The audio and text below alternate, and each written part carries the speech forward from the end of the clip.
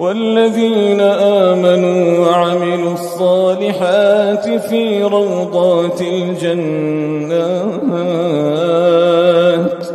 لهم ما يشاءون عند ربهم. ذلك هو الفضل الكبير. ذلك الذي يبشر الله عباده الذين آمنوا وعملوا الصالحات.